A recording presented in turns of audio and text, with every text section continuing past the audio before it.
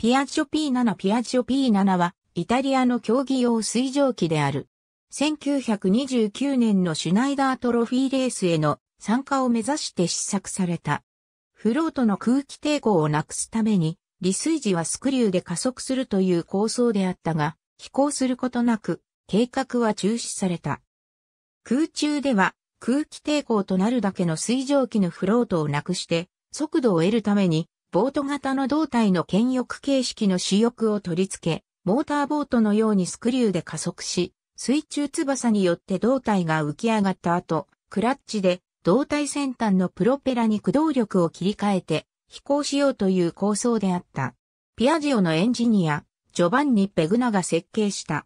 千馬力の沿ったフラギーニのエンジンが機体後部に装備されて可変ピッチプロペラがクラッチと延長シャフトを介して駆動する構想であった。フロートの抵抗と重量がなくなることにより、時速 600km から時速 700km の速度が出せると予測した。